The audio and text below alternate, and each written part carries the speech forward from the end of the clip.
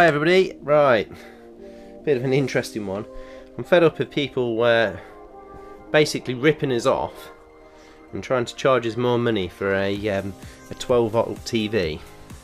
And in fact, once you open a um, normal TV, a 240 volt TV, when they're small, they're usually 12 volts anyway, but internally um, they've changed all the components to make them um, so they're 240 instead of 12 volt.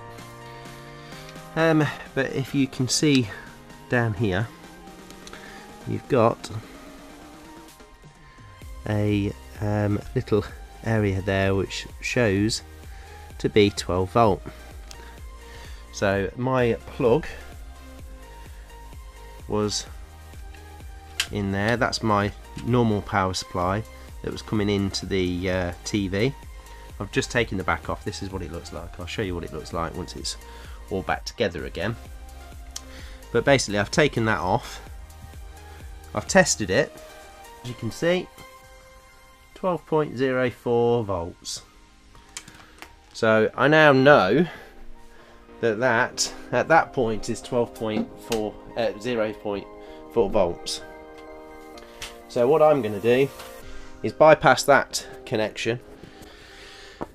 Put you down there and I'm going to solder a brand new 12 volt lead which I've placed through the case in here.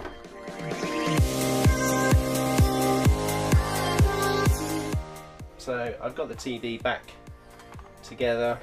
Okay, so as you can see, I've got the telly working absolutely fine. I've actually had to extend the uh, cable so it goes outside to receive the signals, but um, the telly is working completely and absolutely fine.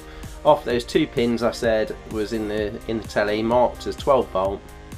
I've directly linked to those, bypassing the um, the whole system to transform the um, the 240 volt into 12 volt. Bypass that completely and uh, the telly's working absolutely fine, tuned in fine, working fine and a lot lot cheaper so I'm absolutely over the moon.